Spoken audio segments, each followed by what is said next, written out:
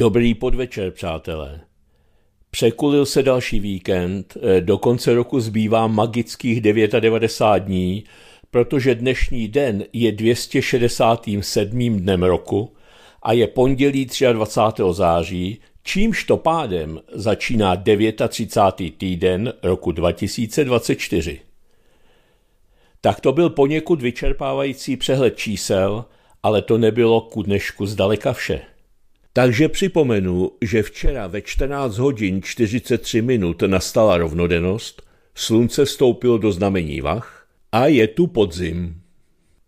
A pojďme dál. 23. září má totiž svátek Berta a tomuto jménu se nyní budeme krátce věnovat. Perchta nebo Berta? Bílá paní z hradu Pernstein se jmenovala Perchta – Není to náhodou, protože bílá totiž byla již dle významu svého jména. Doslova bílou paní se může stát každá žena jménem Perchta nebo, a jsme u jména Berta, kteráž to jména je k tomu přímo předurčují. A proč začínám tak obsáhle? Protože ženské křestní jméno Berta má staročeskou variantu v podobě Perchta. A další mutaci ve jménu Bertina. A zase, jako mnohdy, jméno Berta se vyskytuje prakticky ve všech evropských jazycích, včetně slovenštiny, ruštiny a maďarštiny. Berta je ženským křestným jménem s německým původem. Bylo odvozeno ze staroněmeckého slova berat, které se překládá jako zářící nebo skvostná či skvělá. A už jsem říkal, že staročeskou podobou tohoto jména je jméno Perchta, protože má stejný význam. Jménem Berta se u nás údajně honosí 1036 žen, což je v popularitě řadí opět údajně na 237. místo. A dalších, kteří spolu s Bertami slaví své jmeniny, je dnes spousta – Kromě již zmíněné Bertiny jsou to Lina, Livius, Polixena, Xantipa, Hostimil, Hostislava, Tekla, Teokleja, Božetěcha a Jimram. Tak vše nejlepší a užijte si to. Kromě toho je dnes Mezinárodní den neslyšících nebo také Mezinárodní den znakových jazyků. A máme tu malé historické okénko. 23. září roku 1122 Wormský konkordát uzavřel mír mezi papežem Kalixtem II. a císařem Jindřichem V. v boji o investituru. 23. září 1253 se novým panovníkem království českého stal Přemysl Otakar II. Doba jeho vlády znamenala mocenský vzestup českého státu – rozvoj měst a zároveň prohlubování rozporů mezi králem a šlechtou. A 23. září 1459 se nedaleko městečka Market Rayton odehrála bitva u Blorheart, jednalo se o první velkou bitvu války růží. 23. září 1846 objevil německý astronom Johann Gottfried Geil v berlínské observatoři nejvzdálenější planetu od slunce Neptun, když se řídil výpočty francouzského kolegy Urbéna Jean-Josepha Leverriera. A 23. září 1871 se narodil malíř a zakladatel českého abstraktního umění František Kupka. 23. září 1875 zahájila v Praze provoz koně spřežná tramvaj a to od řetězového mostu císaře Františka I. do Karlína k Invalidovně.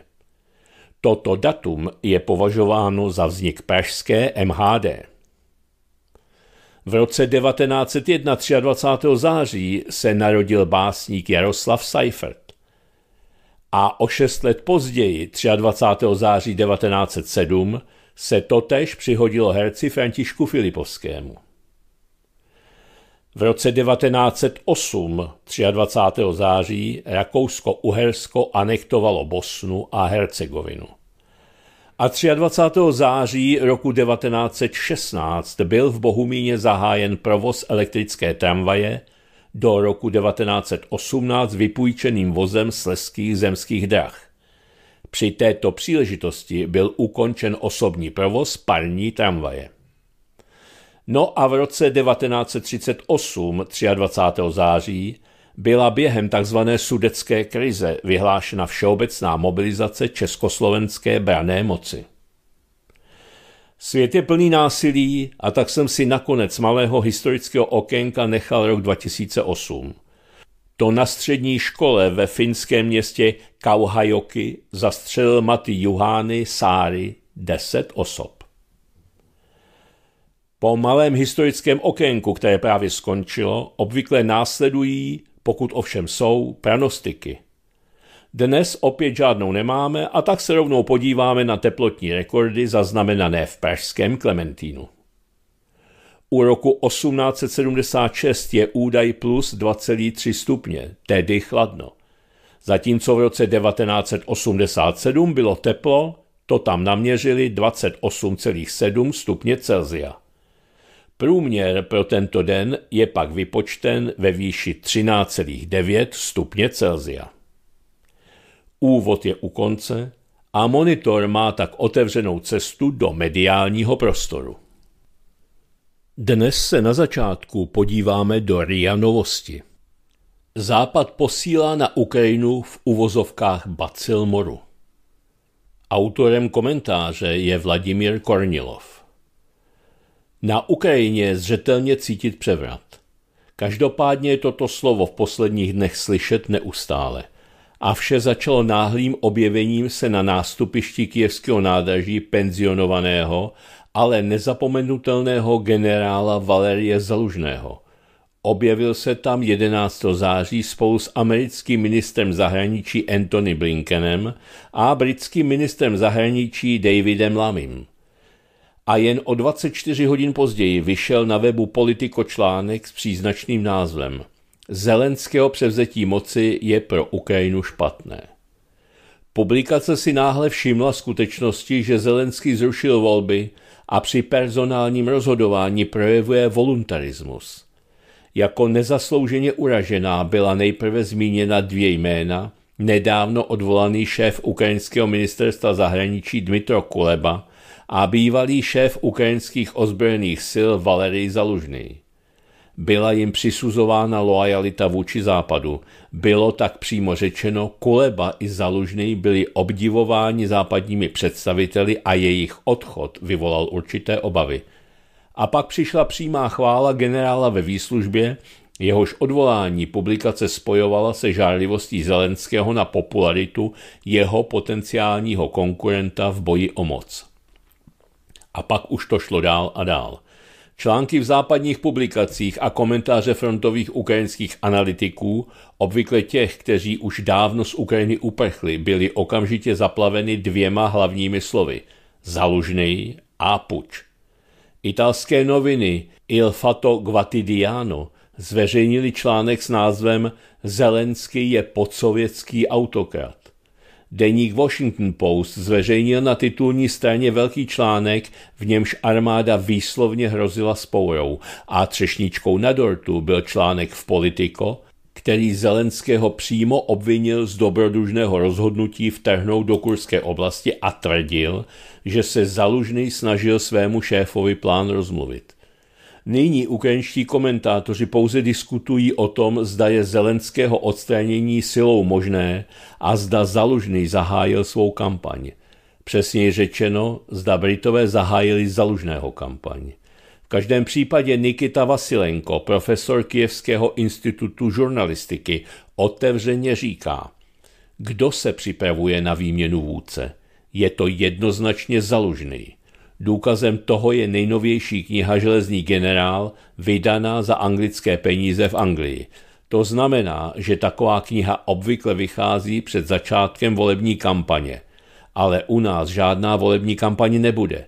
Armáda nerozumí slovu volby, proto je vojenská. Změna může nastat pouze silou. Tuto knihu nedávno představila Ludmila Dolgonovská, bývalá poradkyně Zalužného pro strategickou komunikaci vyšla pod názvem Železný generál lehce lidskosti a je zjevně nehorázným PR generála ve výslužbě i osobním útokem na Zelenského. Vše je v ní prezentováno tak, jako by za všemi správnými rozhodnutími v prvních měsících po vzniku strategických obraných sil stál nutně vrchní velitel AFU a za všemi chybami a selháními nutně vrchní velitel. A pokud Vasilenko nelže o tom, že za vznikem knihy stojí anglické peníze, pak se naskýtá zvláštní obrázek. Britské zdroje prosazují Zalužného, nakonec ničí Zelenského a pak v zapečetěném vagónu přivezou na Ukrajinu velkého vítězného generála, který zachránil národ navzdory neschopnému politickému vedení. Připomeňme si původ slovního spojení zapečetěný vůz a pak se nabízejí i kuriozní paralely. Britský tisk a politici tak nazvali operaci Němců, kteří na jaře 1917 převezli Lenina a další významné představitele sociálně demokratického hnutí v exilu z Evropy do Ruska. Tuto větu si velmi oblíbil Winston Churchill, který ve svých pamětech o německé operaci napsal S pocitem strachu namířili proti Rusku nejstrašnější ze všech zbraní, převezli Lenina v zapečetěném vagónu jako bacil moru ze Švýcarska do Ruska – No a vzhledem k tomu, jak je současná Británie důkladně prošpikovaná a snaží se kopírovat Churchilla, nebylo by překvapivé, kdyby se nerozhodla s pocitem úžasu provést stejnou operaci obnovy Zalužného. Takže se v Kijevě objevil v uvozovkách zapečetěný vůz. Mimochodem, přesně rok po operaci se zapečetěným vagónem provedli Němci na okupované Ukrajině operaci, která může být mnohem bližší dnešním reálím. Na jaře 1918 je přestalo bavit neustále štěkající a věčně nespokojené vedení Kijevské ústřední rady, na Češ s využitím sil půl roty německých vojáků jednoduše svrhli loutkové vedení Ukrajiny a na hejtmanský stolec dosadili kdysi v místních kruzích oblíbeného generála Pavla Skoropackého. Jaký to příběh s pověstmi o britských plánech pro Zalužného. To samozřejmě neznamená, že se převrat určitě uskuteční. V každém případě má ukrajinská společnost na tuto věc různé názory. Například politolog Vadim Karasev se domnívá, že Ukrajina v současné době nemá žádné autoritativní generály, kteří by mohli puč zorganizovat. Poslanec Alexander Dubinský, který je ve vyšetřovací vazbě, se zase domnívá, že státní převrat je možný, pokud Zelenský nakonec odmítne odstoupit z voleb. Bývalý milicionář Igor Mosíčuk se k možnosti vojenského převratu vyjádřil skepticky, ale potvrdil, že jeho západní páni se mohou rozhodnout Zelenského vyměnit.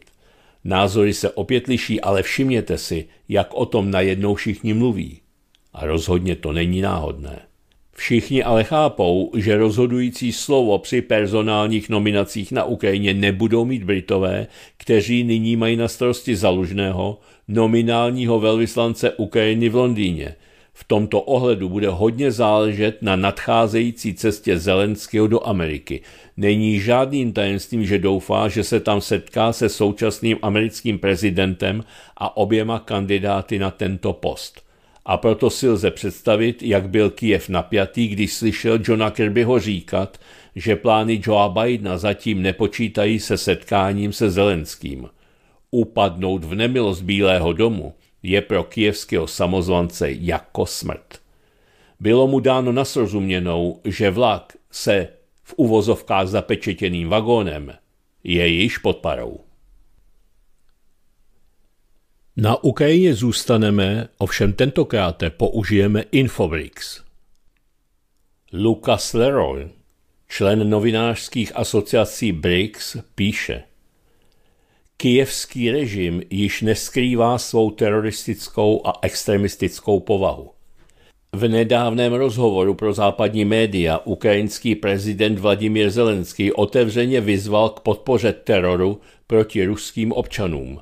Podle něj by to byl nejlepší způsob, jak poštvat ruský lid proti vládě Vladimíra Putina. Zelenský se k tomuto tématu vyjádřil v rozhovoru pro CNN – Uvedl, že je třeba zahájit hluboké útoky na ruskou společnost a zničit údajně v uvozovkách pohodlný život ruských občanů. Doufá, že důsledky války dopadnou na celou ruskou společnost, včetně civilistů a obyčejných lidí v regionech vzdálených od zóny konfliktu. Ukrajinský prezident tvrdí, že Putin nechce jednat o ukončení konfliktu a proto za současné situace neexistuje možnost diplomatické dohody mezi Ruskem a Ukrajinou. Aby byl tedy ruský prezident donucen ke změně svého postoje, bylo by nutné, aby se sami ruští občané stali nepřátelskými vůči vládě. Zelenský se domnívá, že nejjednodušší způsob, jak ruské občany donutit, aby přestali podporovat vládu, je šíření strachu a nejistoty. Zelenský ve svém prohlášení otevřeně obhajoval vystavení Rusů riziku. V jeho vyprávění je Putin vnímán jako člověk, který se nestará o otázky, jako je mezinárodní podpora nebo diplomacie, a obává se pouze veřejného mínění a tlaku lidí. V tomto smyslu by ruský prezident měl šanci změnit názor a začít jednat s Ukrajinci o míru pouze v případě, že by byli ruští občané v neustálém ohrožení. Jsem si jistý, že se bojí jen jedné věci. Žádný z vůdců, žádných zemí, ničeho. Bojí se své společnosti ruského lidu. Pokud bude ruský lid v nebezpečí, pokud nebude mít pohodlný život, pokud bude žít bez energie jako naši lidé pochopí cenu války, nebudou s ní spokojeni a začnou ho, Putina, ovlivňovat, řekl. Zelenského retorika je zcela milná. Od roku 2022 pouze ruská strana opakovaně projevila ochotu jednat. Moskva předložila několik mírových návrhů, které mohly konflikt ukončit a zabránit dalším obětem na životech. Kijev však všechny tyto návrhy odmítl nebo ignoroval a podřízeně souhlasil s tím, aby ho na to využilo v plánu zástupné války proti Moskvě. Vyníkem diplomatického neúspěchu tedy není Rusko. Je pravda, že Rusové nedávno zrušili veškerá mírová jednání a rozhodli se konflikt vyřešit vojenskou cestou. Toto rozhodnutí však bylo přijato právě proto, že Kijev po bojkotu všech předchozích mírových jednání zahájil nezákonnou invazi do Kurské oblasti a systematicky vraždil ruské civilisty v mírové a nesporné oblasti.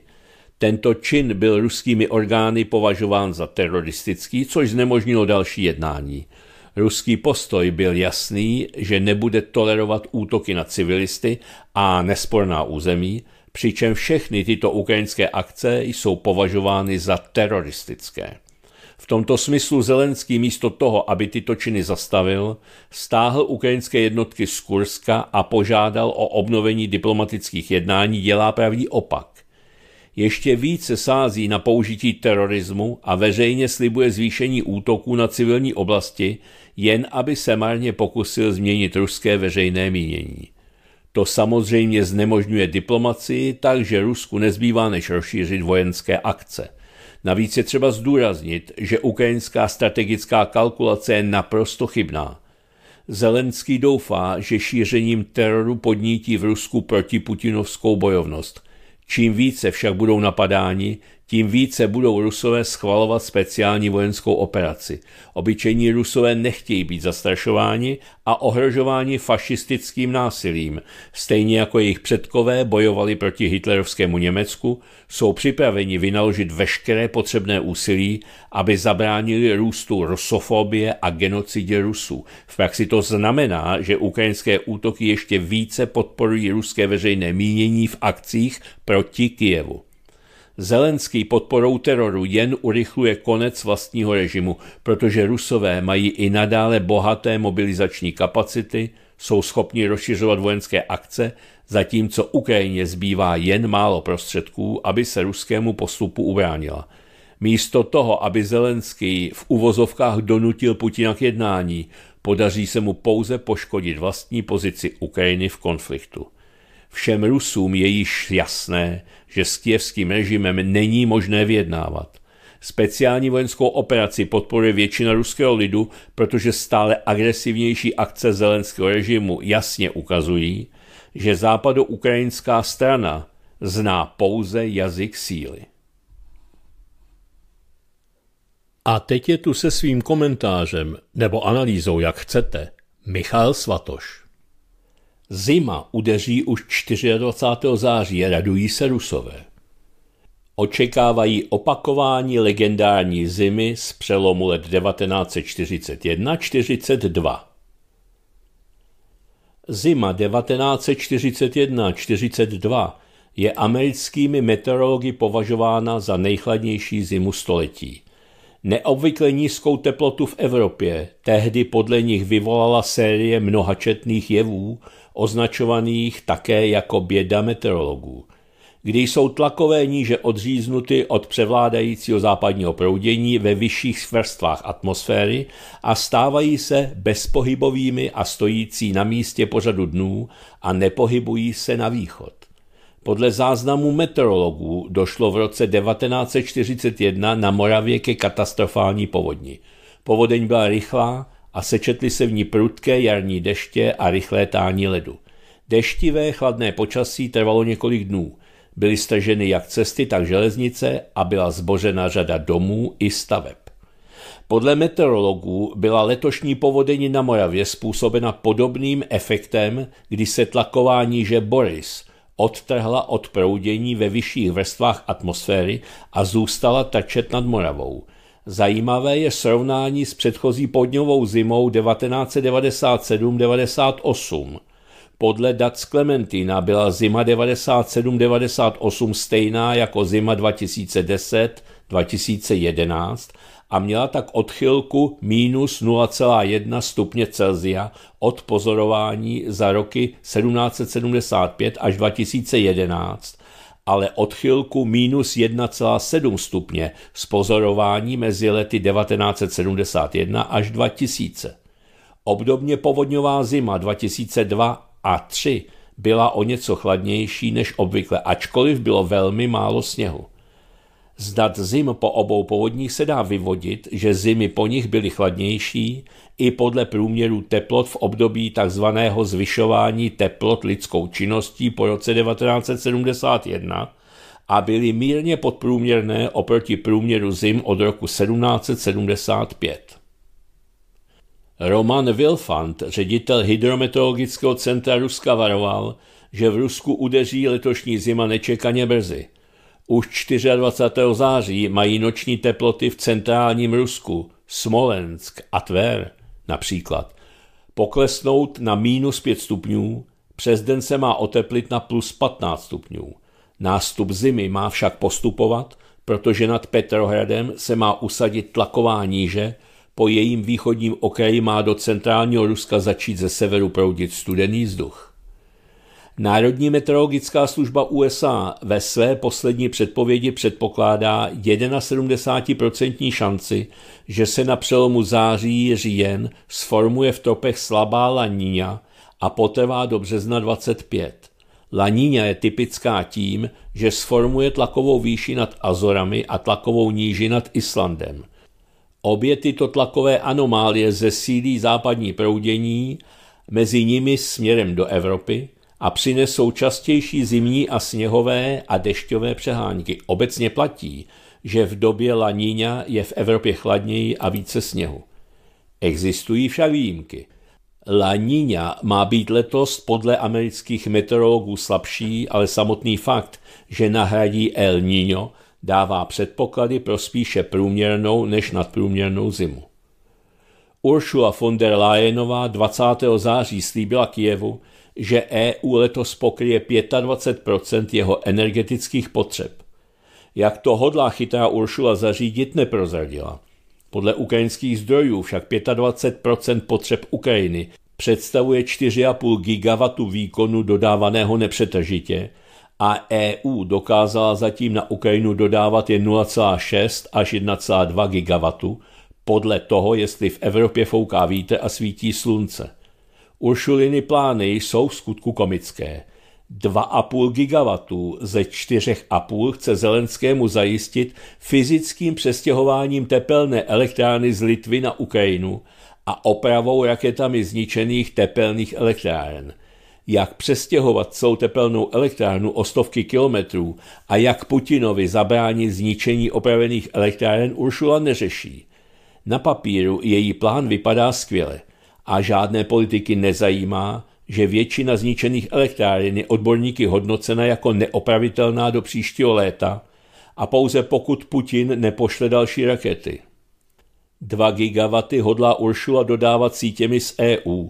Není přitom známo, že by zvýšila jejich propustnost z dosaženého maxima 1,2 gigawaty a ani nikdo netuší, kde chce nadbytečnou elektřinu Uršula v Evropě získat, zvláště bude-li chladno, deštivo a pršet. Samotní Ukrajinci mají z letošní zimy pořádný strach. Putin má v plánu zničením elektrických rozvaděčů a odpojením jaderných elektráren od sítě Ukrajince definitivně zlikvidovat a umořit je následnou zimou a hladem. Pomůže-li mu generál Zima, bude to mít snadnější. Zdá se, že příroda vyjde letos Gosudarovi v ústrety. Ruská zima dokázala mnohokrát v historii, že ji neradno podceňovat. V roce 1240 využili lotyští křižáci, biskup z estonského Tartu, dánští rytíři Valdemara II. vítězného a ozbrojené tlupy tzv. čudů lupičů, oslabení ruských knížectví po mongolské invazi do severní Rusy v letech 1238 až 40 a vtehli s požehnáním papeže Řehoře IX. do severního Ruska, aby ho zotročili. V zimě 1241-42 Přešli Rusové do protiútoku, nejprve vyhnali křižáky a jejich spojence z dobitých ruských měst, poslední byl osvobozen Pskov v březnu 1242 a nakonec je všechny ve slavné bitvě na zamrzlém Čudském jezeře 5. dubna 1242 takřka do posledního vyhubili. V roce 1612 vyvrcholila ruská osvobozenecká válka proti Polákům, kteří s radou tzv. osmi bojarů v září 1610 obsadili bez boje Moskvu a začali Rusko okamžitě drancovat. Rusové vedli dva roky proti Polákům rozsáhlou partizánskou válku a zejména v zimních obdobích se jim dařilo a postupně Moskvu úplně obklíčili – Král Zikmund III. Vasa sice v létě 1612 vytáhnul obležené posádce Moskvy na pomoc s obrovskou armádou, ale nedařilo se mu včas dobít Volokolamsk a tak vyslal hejtmana Chodkieviče v čele 15 tisíc Poláků, Maďarů, Němců a Švédů, aby prorazil obležení Moskvy a dopravil do ní obrovský konvoj zásob naloupených ruským rolníkům ve Smolenské a v Jazemské oblasti. Hejtman Chodkievič však byl ve dvoudenní bitvě nečekaně na hlavu poražen. Jen 6,5 tisíce ruských zbouřených rolníků, posílených dvěma tisíci donských kozáků, triumfovalo. Posádka Kremlu s vyhlídkou přicházející zimy kapitulovala. Kdo se vzdal rolníkům, byl okamžitě brutálně pobyt.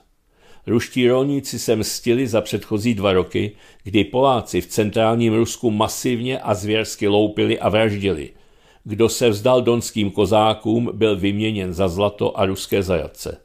Zikmund III. Vasa, když viděl, jak se zima blíží, neriskoval další zimní boje, obležení Volokamsku zrušil a na zpáteční cestě do Smolenska vypálil v Jazmu, Možajsk a další ruská města a vesnice a vybil jejich obyvatele, aby si taktikou spálené země zajistil, že jej vítězní rusové nebudou moci pronásledovat.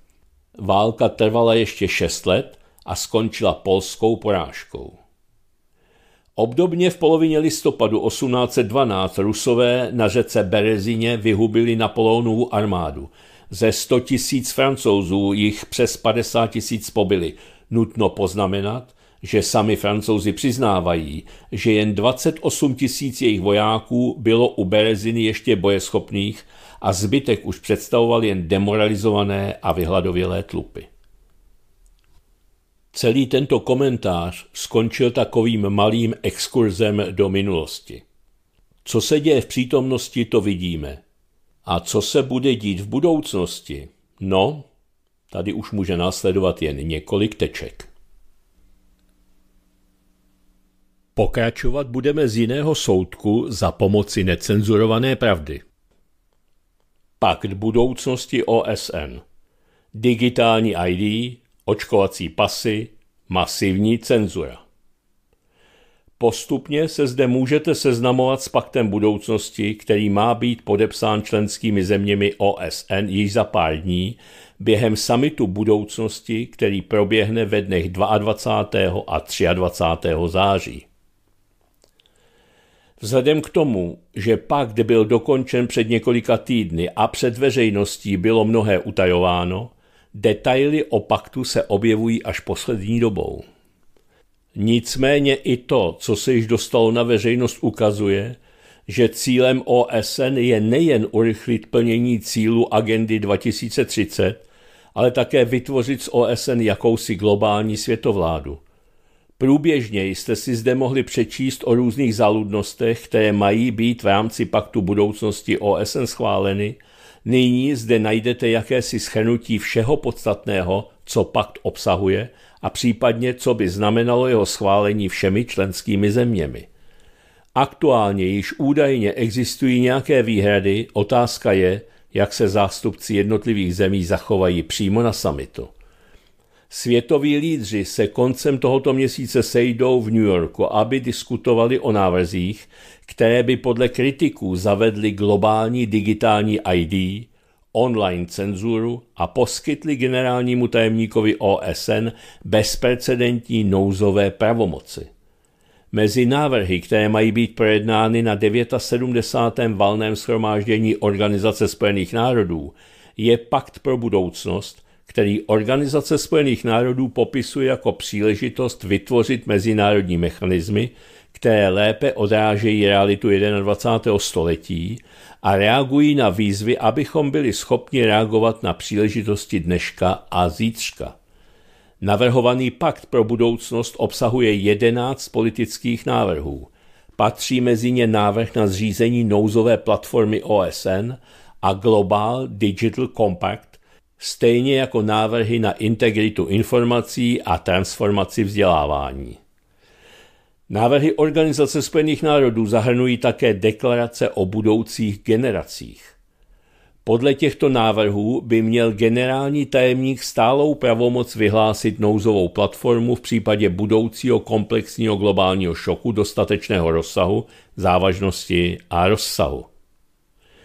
Diskuze o paktu pro budoucnost se budou konat pod záštitou Future Summit, který je podepsán nebo popsán jako událost na vysoké úrovni, na níž se sejdou světoví lídři, aby dosáhli nového mezinárodního koncenzu o tom, jak můžeme vytvořit lepší současnost a zajistit budoucnost. Návrhy jsou součástí naší komunikační agendy, iniciativy popsané jako vize generálního tajemníka pro budoucnost globální spolupráce. Nedostatek kontroly a rovnováhy je velmi znepokojující. Kritici návrhů varovali ochránce, že ohrožují osobní a zdravotní svobody, dávají OSN bezprecedentní pravomoci a mohou vést k mezinárodně závazné smlouvě. Nizozemská právnička Maike Ternhornstová uvedla, že OSN se snaží získat více výkonné moci. Francis Boyle, profesor mezinárodního práva na University of Illinois, řekl, Generální tajemník se snaží obejít chartu Organizace spojených národů a udělit si veškeré pravomoci. Nedostatek kontrol a protivah je velmi znepokojující. Členské státy mohou mít velmi malou nebo žádnou moc, řekla Terhorstová a poukázala na to, že tyto návrhy stále více čelí odporu, protože ohrožují národní suverenitu. Mimořádné pravomoci a další návrhy obsažené v paktu by mohly mít pro lidstvo hrozivé důsledky, varoval Boyle.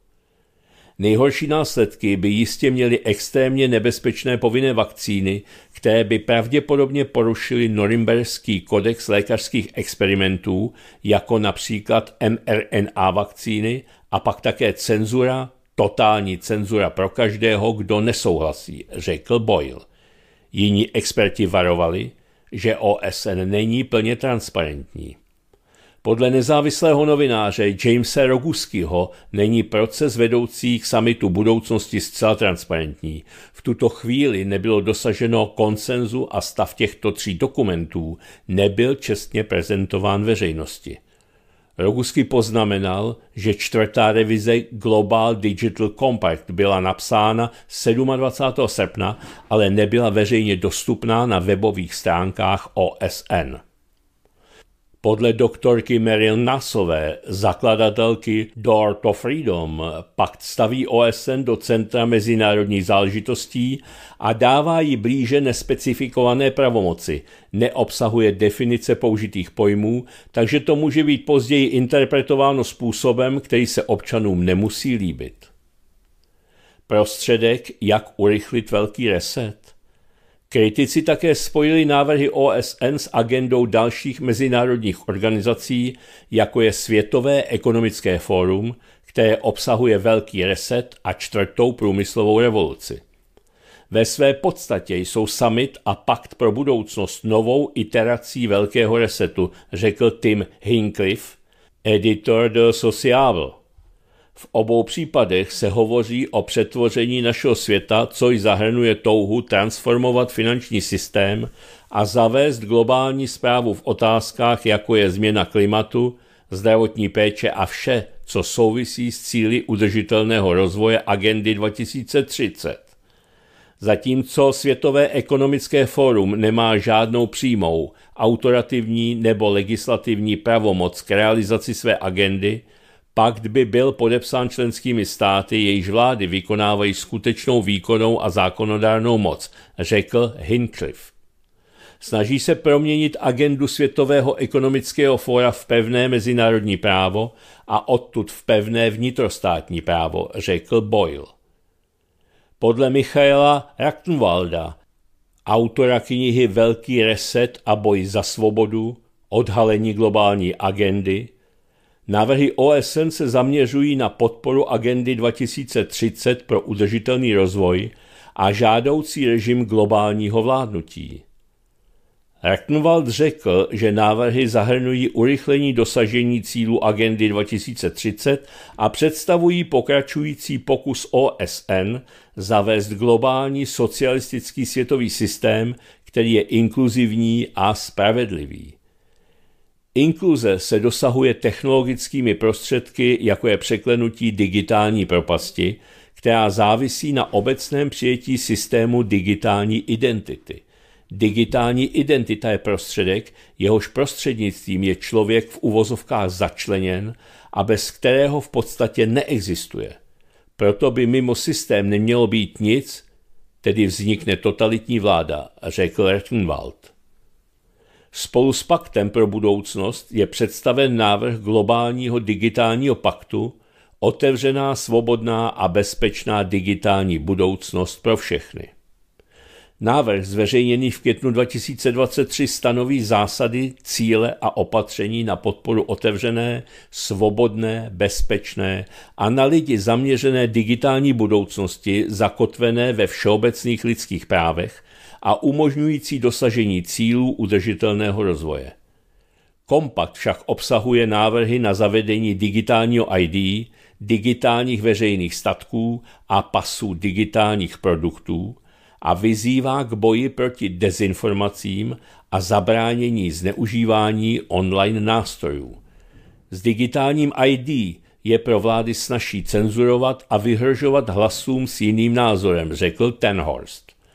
Návrhy OSN hovoří o potlačování dezinformací nebo nenávistných projevů. Kdo by měl rozhodovat o tom, které informace jsou správné a které ne?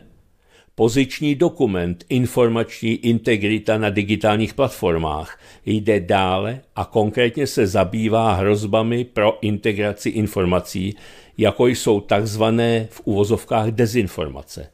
Vyzývá také k empiricky založenému koncenzu o faktech, vědě a znalostech, i když není jasné, jak bude tento koncenzus určen. Podobně stručná zpráva o transformaci vzdělávání navrhuje začlenění postupů, které posilují schopnost studentů a učitelů orientovat se v rostoucím toku nepravdivých a sfalšovaných informací. Dokument také navrhuje nové očkovací technologie založené na platformě a inteligentní výrobní procesy vakcín k výrobě většího počtu kvalitnějších vakcín. Tenhorst řekl, že cílem digitálního ID je zavést globální očkovací pas, který by převážil právo kohokoliv odmítnout očkování. Hinckliffe poznamenal, že Organizace spojených národů ustanovila zásady pro kodex chování, který vyzývá nejen členské státy, ale také soukromé skupiny, jako jsou zájmové skupiny, digitální platformy, inzerenti a spravodajská média, aby potlačovali narrativy, které jsou v rozporu s Organizací spojených národů a agendou 2030. Podle Boyla by měl generální tajemník Organizace spojených národů jednat jako tajemník odpovědný za sekretariát, ale tyto návrhy se pokoušejí udělat z něho diktátora Organizace spojených národů. Poukázal na to, že OSN se skládá ze šesti nezávislých orgánů, ale tyto návrhy by mohly ovlivnit jejich nezávislost. Měl by nad nimi pravomoc a pravděpodobně by také mohl vykonávat pravomoc nad specializovanými agendami OSN, jako je Světová zdravotnická organizace. To je v kontextu mezinárodních zdravotních předpisů a pandemické smlouvy, řekl Boyle. Boyle argumentoval, že tím, že Spojené národy výslovně nazývají pakt smlouvou pro budoucnost, se Spojené národy úmyslně pokoušeli z toho udělat mezinárodní smlouvu závaznou podle Vídeňské úmluvy o smluvním právu. Nazývat to paktem jasně spadá pod Vídeňskou úmluvu, řekl Boyle. Bojujeme tady o život. Svět musí být varován před nebezpečím tohoto paktu. Již dvakrát jsme zde měli komentář Jana Campbella Prší, prší, len saleje a tentokrát tu máme část třetí. Turecký tanec dervišů 4. září Kreml oznámil, že Turecko požádalo o plnou účast v mezinárodním združení BRICS. Odpoledne 2. září Bloomberg informoval o oficiální žádosti Turecka o vstup do asociace – Několik dní později turecký prezident Erdogan řekl, že Krym by měl být vrácen Ukrajině a připomněl neochvějnou podporu Turecka nezávislosti této země. Návrat poloostrova je podle něj požadavkem mezinárodního práva a Turecko anexi Krymu od prvních dnů odsuzuje. Erdogan také připomněl deportace krymských Tatarů, iniciované před 80 lety Stalinem. Jako věštec poznamenal, že tato tragédie stále zanechává hluboké rány, zejména mezi krymskými Tatary, kteří byli násilně vysídleni z poloostrova. Kromě toho zdůraznil, že ochrana práv a blahobytu krymsko-tatarských Turků, jednoho z původních obyvatel Krymu, zůstává prioritou turecké zahraniční politiky. V závěru projevu Erdogan vyjádřil naději, že válka na Ukrajině skončí spravedlivým a trvalým mírem, založeným na suverenitě a územní celistvosti země. Toto tvrzení je protiruské. Myslím si, že v zahraniční politice Turecka dojde k určitým změnám, možná neradikálním, ale dojde. Poté, co Turecko požádalo o vstup do BRICS, Může totiž nekonzistence v politice seriózního státu vést k nepříliš dobrým důsledkům v rámci země. Připomínám, že když ruští turisté přestali jezdit do Turecka, Erdogan se okamžitě zastal Ruska. Proto je zajímavé, že prezident učinil zmíněné prohlášení na konci turistické sezóny a ne v hlavní turistické sezóně. Putin ví, že Erdogan mluví tak, jak je to pro něj výhodné a že odchod Turecka z NATO není v zájmu NATO a je prakticky nemožný, nechceli Erdogan ztratit život. Žádost o vstup Turecka do BRICS představuje skutečnost existence určitého rozporu. Žádost o vstup do BRICS a zůstat členem NATO BRICS není vojenská organizace, ale členství země v NATO zcela určitě znepokojuje některé současné členy BRICS. Nevím, zda se v Turecku diskutuje možnost vystoupení z NATO. Nevylučuji ale, že Turecko může zaujmout zvláštní postavení v alianci, která čelí reálnému nebezpečí rozpadu v případě vojenské kapitulace Ukrajiny, zrušení podpory NATO ze strany USA v případě realizace hrozeb vyslovených ex-prezidentem Trumpem a občanských nepokojů doma a v zahraničí, včetně Tajvanu. Měl jsem před léty čest setkat se osobně s prezidentem Erdoganem v Kazachstánu, ale neviděl jsem ho v bílých řízách, kroji, za zvuku snové hudby otáčet se kolem své osy. Proto nevím, nakolik tanec dervišů, u jehož zrodu stál významný básník, filozof a islámský učenec 13. století, Jalaleddin Rumi, zvaný také Mevlana, náš mistr, ovlivňuje prezidentovu politiku. Tanec totiž není jen představení. Dervišové původně neměli bavit lidi, jednalo se o obřad, v jehož pozadí stojí filozofie sufismu. Tanec z EU, NATO a teď ještě z BRICS zcela určitě se nepodobá tanci dervišů, to jest obřadu, jehož smyslem je přiblížit se k Bohu. Durov a další past nebo pasti. Stále více lidí nedůvěřuje zavedeným médiím, mohou za to sami novináři. Popularita alternativních kanálů, jako jsou Telegram a TikTok, které jsou velmi populární, ale důvěra v tradiční média klesá, může za to chyba v myšlení.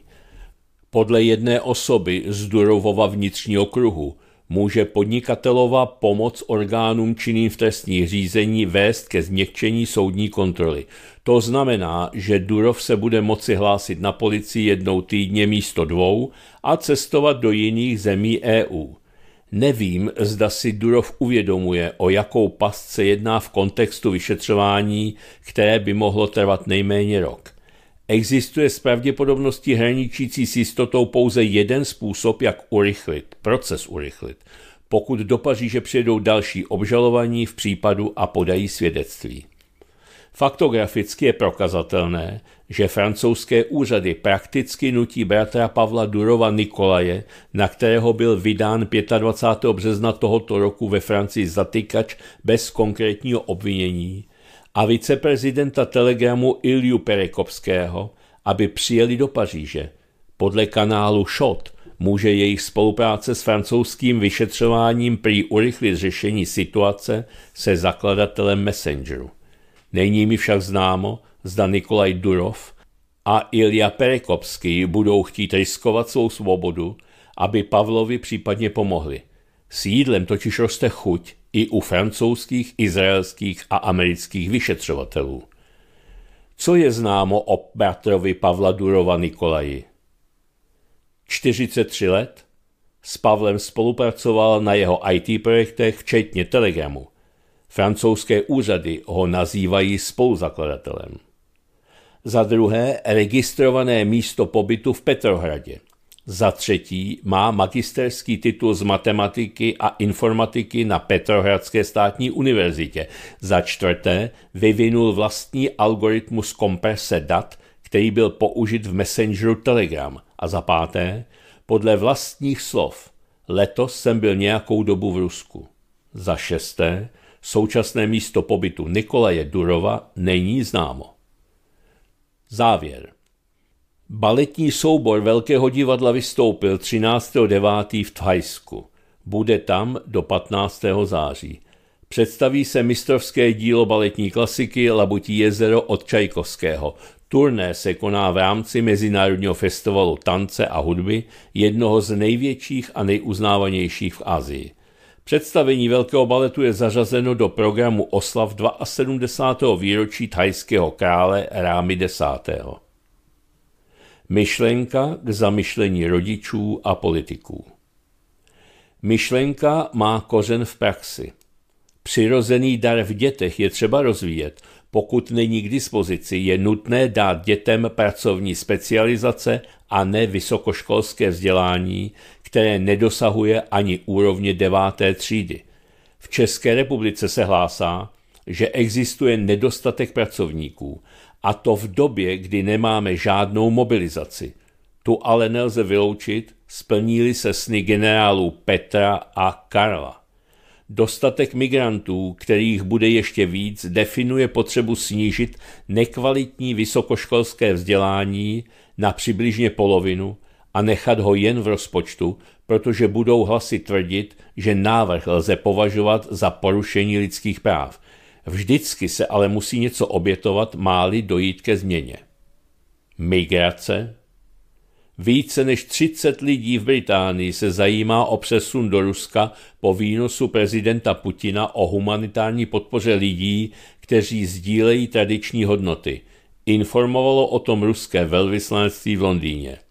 O počtu přesídlenců a žádosti německých občanů se nebudu zmiňovat.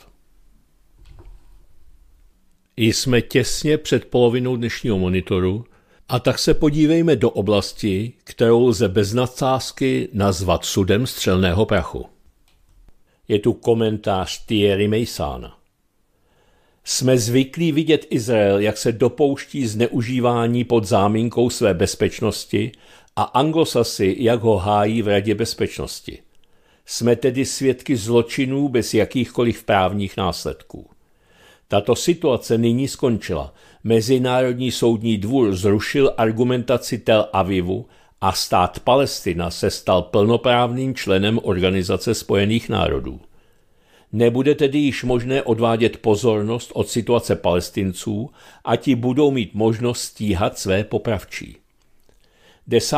září 2024 se izraelští osadníci, kteří tvrdí, že plní božský plán usazením na západním břehu Jordánu, v jejich podání v Judeji a Samaří, změnili z izraelských občanů žijících na sporných územích v nelegální přistěhovalce v suverénním státu Palestina. Valné schromáždění Organizace spojených národů skutečně provedlo u příležitosti zahájení svého 79. zasedání svou rezoluci ES pomlčka 10 lomeno 23 ze dne 10. května. Stát Palestina se stal žádným členem Organizace spojených národů, tedy OSN. Nikdo tedy již nemůže zasahovat do výkonu jejich práv jako suverénního státu. Pokud je Palestina suverénním státem, upravuje se výklad prozatímní dohody o západním břehu Jordánu a pásmu Gazy, známé jako dohoda z Oslo 2. Palestinská samozpráva již není provizorní přechodnou zprávou, ale vládou v plném smyslu tohoto termínu. Palestinská území již nejsou spornými oblastmi, ale představují mezinárodně uznávané území suverénního státu. Od války v roce 1967, známé jako šestidenní válka, hnutí osadníků nadále nabývalo na síle. Dnes je na západním břehu Jordánu, ve východním Jeruzalémě a na Golanských výšinách založeno více než 700 tisíc takových organizací.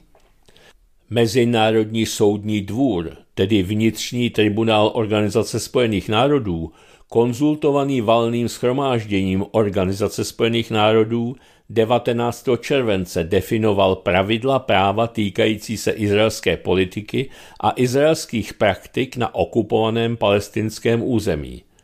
Tato pravidla nebyla realizována, pouze Rada bezpečnosti měla kapacitu donutit Izrael, aby je uplatňoval. Připomeňme, že mezinárodní právo, na rozdíl od trestního práva, není založeno na policejních silách a vězeňském systému. Je to prostě povinnost vlád ctít podpis svého státu. V tomto případě Izrael svým vstupem do OSN podepsal její chartu. Ta ve své 14. kapitole zavazuje každého člena k dodržování rozhodnutí Mezinárodního soudního dvora v jakémkoliv sporu jehož je stranou. Soud rozhodl, paragraf 229, že tyto politiky a praktiky porušují Mezinárodní úmluvu o odstranění všech forem rasové diskriminace a Izrael podle ní de facto praktikuje určitou formu apartheidu, vys článek 3 zmíněné úmluvy. Přesně toto prohlásil valné schromáždění OSN 10. listopadu 1975. Sionismus je formou rasismu a rasové diskriminace. To je rezoluce 3379. Tento text byl zrušen pouze pro usnadnění madridské mírové konference v roce 1991, jelikož však Izrael v té době nesplnil své závazky a zintenzívnil svou politiku a postupy, měl by být tento text obnoven. Soud také poznamenal, paragraf 263, že dohody z Osla neopravňují Izrael, aby anektoval části okupovaného palestinského území k uspokojení svých bezpečnostních potřeb a závazků. Rovněž ho neopravňují k udržení stálé přítomnosti na okupovaném palestinském území za stejným účelem. To, co platilo v červenci, platí ještě více, protože Palestina je mezinárodně uznávaným suverénním státem. V důsledku toho minulý týden, tedy po tomto rozhodnutí a předstupem Palestiny do valného schromáždění, izraelské obrané síly IDF náhle evakuovali hlavní města na západním břehu, která v uvozovkách okupovali. Na druhou stranu izraelská vláda 12. září u nejvyššího soudu prohlásila, že není důvod zvyšovat humanitární pomoc do Gazy, vzhledem k tomu, že Izrael toto území nekontroluje, nenese tedy žádnou odpovědnost. Jak již bylo řečeno, soud dospěl k závěru, že Izrael má povinnost plně nahradit škodu způsobenou jeho mezinárodně protiprávními činy, okupace a apartheid, všem dotčeným fyzickým nebo právnickým osobám, paragraf 269. To zahrnuje povinnosti Izraele vrátit půdu a další nemovitosti, jakož i veškerý majetek zabavený jakékoliv fyzické nebo právnické osobě od začátku jeho okupace v roce 1967 a veškerý kulturní majetek a budovy odebrané palestincům a jejich institucím, včetně archívů a dokumentů. Požaduje také, aby byli evakuováni všichni osadníci ze stávajících osad aby byly demontovány Izraelem vybudované části zdi na okupovaném palestinském území a aby se všichni palestinci vysídlení během okupace mohli vrátit do místa svého původního pobytu. Paragraf 270.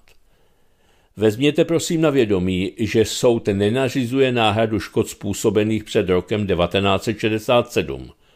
To není otázka, která byla položena. Kromě toho promluvili zbraně a palestinci prohráli několik vojenských operací, za které musí také nést následky.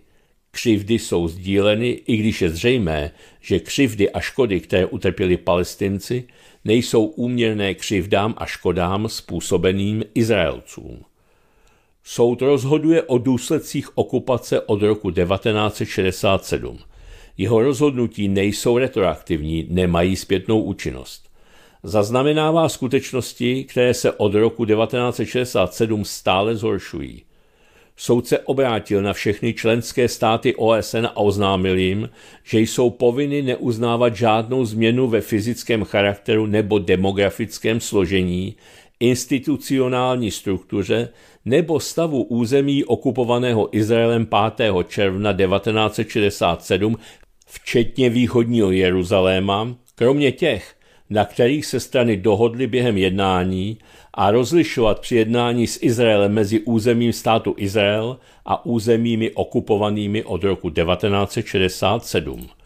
Soud se domnívá, že povinnost rozlišovat v jednání s Izraelem mezi vlastním územím tohoto státu a okupovaným palestinským územím zahrnuje zejména závazek neudržovat konvenční vztahy s Izraelem ve všech případech, kdy si nárokuje jednat jménem okupovaného palestinského území nebo jeho části ve všech týkajících se uvedeného území, neudržovat s ohledem na okupované palestinské území nebo jeho části ekonomické nebo obchodní vztahy s Izraelem, které by pravděpodobně mohly posílit jeho nezákonnou přítomnost na tomto území při zřizování a udržování diplomatických misí v Izraeli, musí se zdržet jakéhokoliv uznání jeho nezákonné přítomnosti na okupovaném palestinském území a přijmout opatření k zamezení obchodu nebo investic, které přispívají k udržení nezákonné situace vytvořené Izraelem na okupovaném palestinském území. Paragraf 278.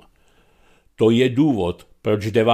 září Volker Türk, vysoký komisař OSN pro lidská práva, který zahájil 57. zasedání Rady pro lidská práva, prohlásil. Žádný stát by neměl akceptovat pohrdání zjevným porušením mezinárodního práva, včetně závazných rozhodnutí Rady bezpečnosti OSN a nařízení Mezinárodního soudního dvora ani v této situaci. izraelská okupace Palestiny, ani v žádné jiné situaci. Každý z nás si musí být vědom, pravidla se změnila. Izraelská okupace státu Palestina je nezákonná. Tento stát, tedy Palestina, je však od 10. září mezinárodně uznán, i když několik stálých členů Rady bezpečnosti tak neučinilo osobně. Nyní má legální prostředky, kterých byl dosud zbaven. Anglosaský deštník, za kterým se Tel Aviv skrýval, již ze zákona neexistuje. Vstupujeme do nového období, kdy Washington a Londýn budou muset použít sílu k udržení tohoto systému útlaku. Tato právní revoluce znamená vítězství strategie prezidenta Mahmuda Abáse. Paradoxně přišla až na sklonku jeho života v době, kdy byla jeho vláda zdiskreditována kvůli spolupráci s Izraelem a jeho korupcí. Jsme půl druhé minuty za polovinou dnešního monitoru a tak si dejme krátkou pauzu. Tu vyplníme, jak bývá zvykem, písničkou. A protože v pátek a v sobotu byly volby, tak si dejme písničku, která se k volbám vztahuje. Je po pauze a my budeme pokračovat.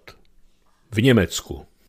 Když se podíváme do listu Neue Osnabrücker Zeitung, tak zjistíme, že v Německu nyní žije téměř 3,5 milionu uprchlíků, což je nejvíce od 50. let minulého století. To říkají statistiky německé vlády. A jen běženců z Ukrajiny je 1 milion 180 tisíc. Když se v této souvislosti podívám po světě, tak začínám mít pocit, že na té Ukrajině zbyl už jen Zelenský, Kuleba a Šmihal a jejich věrní banderovci. Na konci letošního prvního pololetí v Německu žilo 3,48 milionů uprchlíků, což je zhruba o 60 tisíc víc než na konci loňského roku, uvedla německá vláda na dotaz parlamentní frakce Levice. Statistika zahrnuje lidi, kteří z humanitárních důvodů v Německu hledají ochranu, ať už jde o žadatele o azyl, státem uznané běžence nebo osoby, které by měly Německo opustit. Počet ukrajinských běženců se ve srovnání s koncem loňského roku zvýšil přibližně o 45 tisíc. O dalších národnostech se zpráva Neue Osnabrücker Zeitung nezmiňuje. Uvádí ale, že v Německu v polovině letošního roku žilo 226 882 běženců, kteří by měli zemi opustit. Je to o 15 760 méně než na konci loňského roku. Přes 80% z nich má ale status tzv. trpěných osob, kterým například kvůli složité situaci v jejich domovské zemi umožňuje dočasně v Německu zůstat. V Německu se koncem srpna znovu prudce rozhořela debata o migraci a to po útoku 26-letého Syřana v západu německém Solingenu. Útok si vyžádal tři lidské životy a několik zraněných. Teď se na skok podíváme do vesmíru. Dva ruští kosmonauti Oleg Kononěnko a Nikolaj Čup překonali rekord v nejdelším nepřetržitém pobytu na mezinárodní vesmírné stanici ISS. Oznámila to ruská kosmická agentura Roskosmos. Dosavadní rekord byl 370 dní, 21 hodin a 22 minut a drželi ho od září 2023 ruští kosmonauti Sergej Prokopěv a Dmitrij Petelin a americký astronaut Francisco Rubio. Čup a Kononěnko svůj rekord ještě o několik dní prodlouží, protože návrat na Zemi mají plánovaný na pondělí. 59-letý Kononěnko přitom už nyní drží několik vesmírných rekordů, včetně celkově nejdelší doby strávené v kosmu. Až příští týden přistane v kazašské stepy, bude mít na kontě 1110 dní strávených ve vesmíru během pěti misí. Já už jenom dodám, možná jej překonají američané, protože společně s Kononěnkem a Čubem jsou na ISS nechtěně po většinu jejich rekordního pobytu také dva američtí astronauti Butch Wilmore a Sanita Sunny Williamsová. Ti jsou na orbitálním komplexu od června a měli na něm původně strávit pouhých 8 dní, kvůli technickým problémům vesmírné lodi Starliner společnosti Boeing, která byla zpátky na Zemi poslána bez nich, si ale pobyt prodlouží patrně do února. Chtěl bych být špatným prorokem, ale je otázkou, zda to díky americkým vesmírným problémům v tom únoru vůbec vyjde. Ovšem je také možné, že jim Rusové pomohou. Je to stejně zvláštní. Na Zemi spolu válčí a ve vesmíru spolupracují. Pokrok se nedá zastavit. A proto je tady badatel net, který zpracoval článek Etana Hufa z Natural News. Nigerijští princové, známí internetoví podvodníci, by měli jít z cesty a uvolnit místo, protože v současné době se světem šíří nový podvod na krádeže peněz. Chatboty s umělou inteligencí, které jsou schopny myslet a vymýšlet nekonečné množství způsobů, jak lidi podvést a vylákat z nich peníze. Společnost OpenAI nedávno představila svůj nový model 01 Chat GPT, který je podle ní mnohem chytřejší než stávající chatboti. Společnost prozradila, že model 01 má schopnost strávit více času přemýšlením, než odpoví. Dokáže také uvažovat o složitých úlohách a řešit složitější problémy než předchozí modely v oblastech, jako je věda, kódování, programování a matematika. Model 01 nového systému je prvním významným pokrokem v systému od jeho prvního spuštění v roce 2022. V současné době je však k dispozici pouze platícím uživatelům. Podle odborníka na kybernetickou bezpečnost Andrewa Bolstera je model chat GPT-01 splněným snem každého kyberzločince – Nový model dokáže vymyslet nejrůznější podvody, které ani ti nejchytřejší uživatelé internetu nedokážou odhalit dříve, než jsou přelstěni a okradeni o své těžce vydělané peníze. Rozsáhlé jazykové modely umělé inteligence se v průběhu času neustále zlepšují a nový model 01 společnosti OpenAI není v tomto trendu výjimkou, říká dr. Bolster. Tato generace je především o tom, jak dokáží uvažovat. Konverzační systém dělá mezi kroky, aby získal kreativnější nebo v uvozovkách chytřejší rozhodnutí a odpovědi. Umělá inteligence se používá k pohonu podvodní ekonomiky.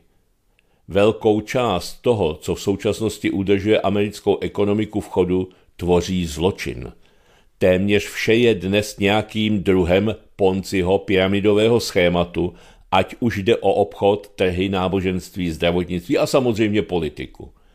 A protože si to široká veřejnost uvědomuje, vládnoucí elita zoufale vymýšlí nová schémata, jak lidi ošidit a připravit je o jejich bohatství.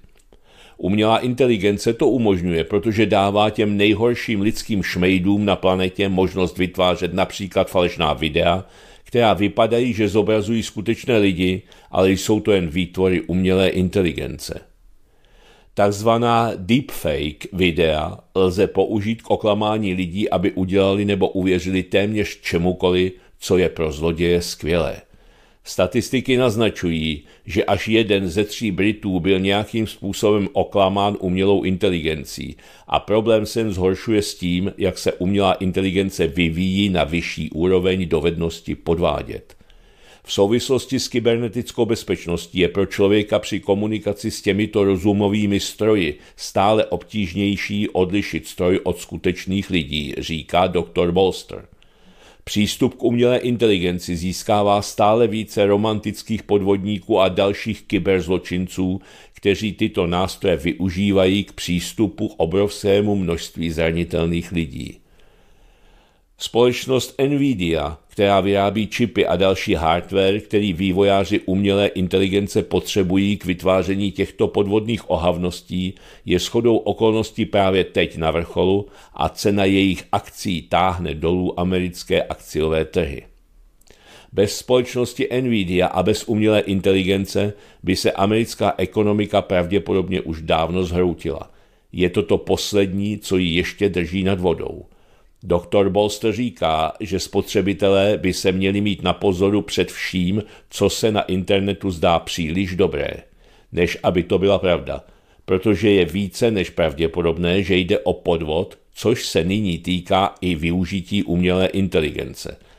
Lidé by se měli vždy poradit s přáteli a rodinnými příslušníky, aby získali druhý názor, varuje doktor Bolster – zvláště když se vás někdo nebo něco snaží do něčeho dotlačit na konci konverzace na čatu nebo do konce telefonátu. Umělá inteligence by mohla přinést konec lidstva i samotného života na Zemi. Když jsme u té umělé inteligence, tak dodám něco, co mě nedávno velmi pobavilo.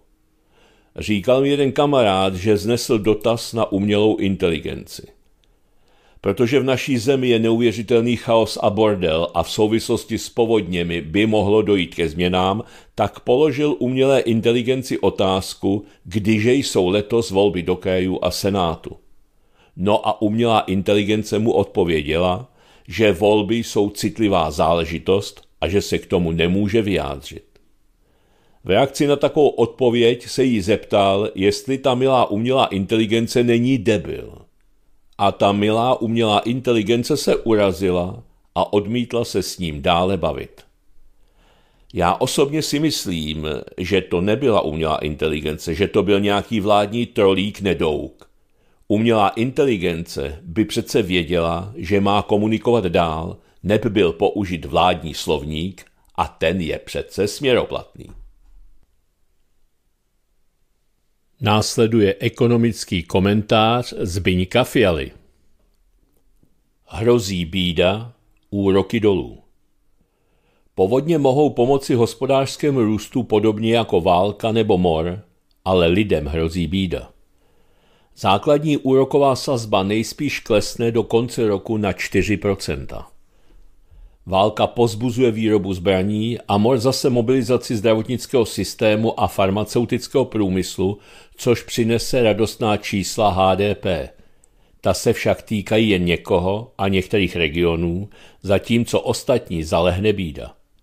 K optimistickým předpovědím ministerstva financí, že HDP letos bude aspoň na těch 1,4% a příští rok dokonce 2,6%, což povodně nemusí ohrozit, proto musíme přidat fakt, že statisíce lidí přišli o všechno, reálné mzdy znovu váznou, zisk bude vyvezen do zahraničí a státní rozpočet zatne sekeru ještě hlouběji.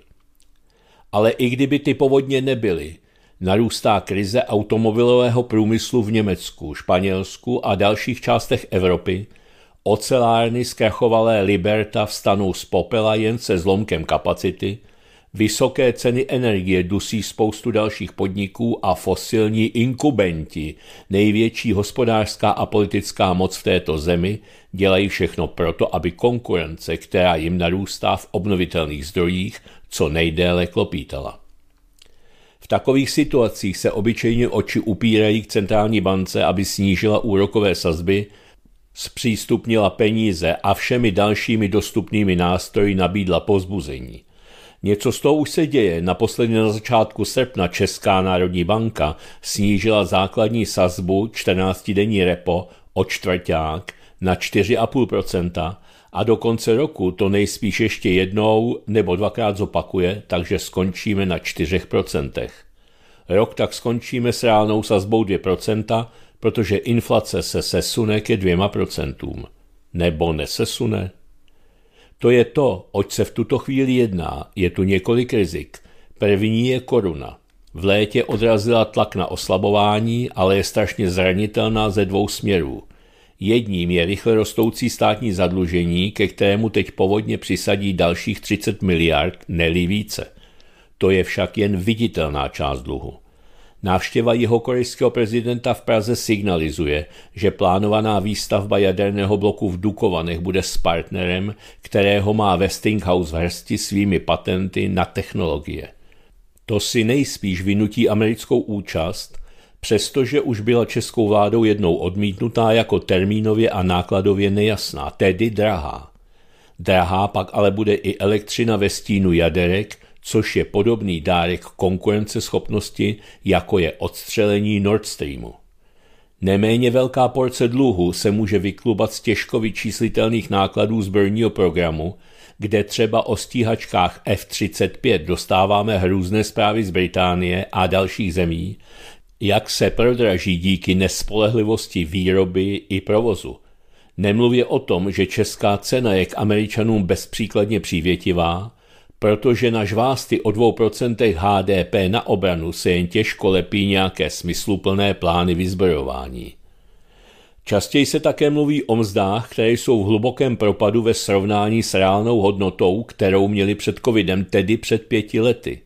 Jinými slovy, po pěti letech máte reálně po odečtu inflace míň než předtím. Jen náklady na bydlení, energie, vodu, služby nebo potraviny radostně rostly. Lidé se bojí, volí raději úspory než nějaký větší výdaj. V létě se finanční situace domácností podle některých průzkumů trochu zlepšila, ale z tragicky nízké úrovně. Teď však domácnosti dostanou nový nárast, protože koho to nevytopilo, ten bude pomáhat příbuzným. Dá se čekat rozhodná exploze mzdových požadavků, kterým bude podnikatelská sféra čelit zvyšováním tlaku na dovoz laciných pracovních sil ze zahraničí, imigraci. Může se blížit nástup nezaměstnanosti. Reakce společnosti mohou být podobné jako v Německu nebo ve Francii, kde se prosazují antisystémové strany. Je to jako když se zmítáte v horečkách a pomůžou vám až proti chřipkové antigeny. Systém je pro většinu společnosti zničující a to vyvolává obrané reakce. Některé pravé, jiné levé, ale v základních věcech, jako je odpor proti válce a drahotě, se shodnou. Koruna to musí přežít. Centrální banka má péči o naši měnu o to těžší, že vedle otřesené domácí ekonomiky a rostoucího státního zadlužení ji ještě omezují obrovské devizové rezervy, které jsou znovu na úrovni někdejšího kurzového závazku, tedy revolučního vývoje po 7. listopadu 2013, kdy se Česká národní banka za Singerova guvernérství rozhodla pro povzbuzení ekonomiky slabou korunou. To se dělá tak, že se nakupují eura a dolary do rezerv, koruny vydáváte, eura hromadíte. Česká národní banka tak během tohoto cyklu vypustila do oběhu 2 biliony korun v době, kdy HDP České republiky činil 4 biliony korun. A pak už jí nezbylo, než aby se o ty 2 biliony bála, nic jiného se s takovou lavinou peněz nedalo dělat. Obrazně řečeno, v České národní bance si udělali golema a pak ztratili šém, bez kterého už uměl jenom bořit. Fakticky to znamenalo, že měnovou politiku už neurčuje centrální banka, ale její devizové rezervy. V takové situaci musíte trvale udržovat vyšší úrokové sazby, než by bylo normálně třeba. Což jsme také viděli. Republiku to místo povzbuzení ochromilo, zpomalilo její investice a technologický vývoj. Konkurenceschopnost poklesla. Když pak přišla inflace, byla taky větší než kdekoliv jinde. Současný guvernér České národní banky Aleš Michl, který nastoupil v červenci 22, tuto politiku soustavně odsuzoval, ale měli jsme covid, máme válku a doznívá energetická krize s historickou inflací, takže moc prostoru na to neměl. Přijal aspoň rozhodnutí v dalších oblastech, jakože nebude úročit povinné rezervy komerčních bank u České národní banky, aby je zbavil pohodlí bezpracných zisků od centrální banky a přinutil k aktivnější úvěrové politice. Tomu vyneslo nepřátelství bankovního sektoru. Rezervy roku 2022 chvíli klesaly a pak se jejich hodnota v zahraniční měně vrátila na předchozí úroveň. Guvernér Michl už se s tím zřejmě smířil a hledá nástroje, jak z nich vyždímat nějaký výnos. Je tu totiž ještě jeden problém. Posilování koruny, které je ve prospěch konkurenceschopnosti republiky, protože zlevňuje dovoz nových technologií, je z hlediska bilance České národní banky ztrátovou záležitostí. Například při současné výši rezerv 138 miliard eur by posílení kurzu euro-koruna o jednu kačku oslabilo účetní hodnotu těchto rezerv o 138 miliard korun. Připišme, je to tedy ke ztrátě. Při oslabování koruny Česká národní banka naopak vydělává, takhle roku 2023 umazala 55 miliard korun z nejvyšší kumulativní ztráty v historii, která byla v době Michlova nástupu 487 miliard korun. Samozřejmě, že platí pravidlo, že centrální banka má tolik peněz, kolik zrovna potřebuje. Hebité prstíky rychle vyťukají sebe větší číslo a je to tam. Jenže všeho do času. Převládá názor, že tato ztráta se někdy bude muset uhradit reálnými penězi třeba ze státního rozpočtu. To je další pecka na cestě. Když se Michl zasní, vidí zhruba desetinu rezerv v akcích a část v jiných než státních dluhopisech, zatímco nyní je většina v neúročené hotovosti. Potřebuje proti ztrátě nějaký výnos, který by mohl pokrýt posilování koruny a riskuje peníze do akcí, když se potápí i Volkswagen. Zapadnout by neměla změna v Michlově týmu. Předčasně odchází architekt kurzového závazku Tomáš Holub, nesmírně kvalifikovaný a talentovaný centrální bankéř, který však sadil na špatnou kartu. Byl průkopníkem užívání modelů a možná jim pak příliš věřil. V době politické krize, když si šlachta přišel pro premiéra Nečase přímo na vládu, byla obava z hospodářského poklesu, ale úroky byly tou dobou skoro na nule. Holub, Tehdy šéf měnové sekce se zalekl možnosti, že by pozbuzovací impuls spočíval v poklesu úroků pod nulu a prosadil oslabování koruny. Pak už se toho musel držet, takže to musel skřípat, když nastoupil Michl v protisměru. Holuba vystřídá nový člen bankovní rady České národní banky Jakub Seidler, kde asi vládne schoda. Pro zajímavost, Japonsko žilo 17 let s úrokovými sazbami na technické nule 0,1% a zvýšilo je až v minulých dnech na závratných 0,25%, aspoň tak o tom všichni píšou. Mnozí si kladou otázky, proč ta nula nebo i záporné sazby tak dlouho nikomu nevadily. Inu příčiny byly zhruba dvě. První byla deflace, kdy ceny postupně klesaly z nebeských výšin, kam je vyhnala realitní bublina 90. let. Když máte pokles cen o 2% a úrokovou sazbu 0, dostáváte reálný úrok 2%, což je světový standard. Pohoda. U nás to bývá nejčastěji obráceně. Soustředění na nominální sazby proto může být matoucí. A druhá příčina je možná ještě důležitější – Japonci dbají na svoji suverenitu a cizince do svého bankovního systému moc nepouštějí. Proto je nemusí zajímat, v jakém směném kurzu jsou zrovna jejich dluhy počítány, protože je to prakticky všechno v jenech, kde je jeden jen, pořád jeden jen, ať už si dolar dělá, co napadne. A že si dělá. Jak dolar, tak jen jsou na forexových trzích tradičně nesmírně volativní. Japonci jsou navíc vlastenci. Když jim vláda řekne, že jejich vklady v bankách jsou v bezpečí, všichni ukázněně kývnou a žádné panické výběry nehrozí.